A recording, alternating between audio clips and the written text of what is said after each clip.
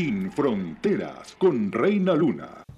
El condado Hidalgo ha superado a Dallas en el número de muertes por COVID-19 y se acerca a los 1.100 fallecimientos y casi 23.300 contagios acumulados. Cuando uno enferma de COVID desarrolla anticuerpos. Mucho se ha hablado de reinfecciones. ¿Son estas posibles o la realidad es que quienes hablan de una segunda contaminación nunca sanaron? Sobre el tema, hoy el doctor Héctor Amaya nos aclara en su participación. Adelante. Muy buenas tardes a todos. Les, les hablo, soy el doctor Amaya, Héctor Amaya de la ciudad de Hueslaco. Soy un médico internista. Le doy gracias al programa Sin Fronteras por darme la oportunidad de estar con ustedes el día de hoy. El día de hoy vamos a hablar de un tópico que es muy importante.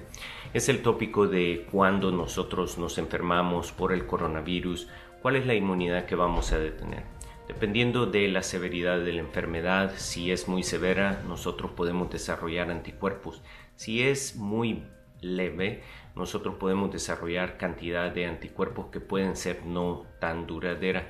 Se estimula que eh, se estima que la duración de los anticuerpos puede ser eh, empezando desde los 14 días desde la primera infección y manifestaciones 14 días, 30 días ah, en promedio, pero pueden durar hasta 60 días. Ahora esa inmunidad es variable en cada persona. Algunos desarrollan inmunidad más duradera y en estudios animales se ha estimado que pueden llegar hasta muchos años. Ahora, ah, lo más importante de esto es el problema de las reinfecciones.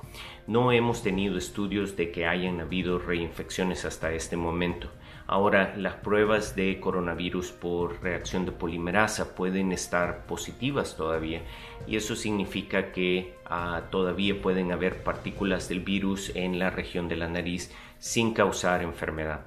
Muy importante saberlo a la hora de tomar una decisión, especialmente laboral o en la casa, ¿verdad? Que Dios los bendiga a todos y gracias por darme la oportunidad de estar aquí la razón de este video es más que todo educacional y para resolver algunas dudas. Gracias, doctora Maya. Está usted bien informado. Buenos días, Texas. Buenos días, Tamaulipas.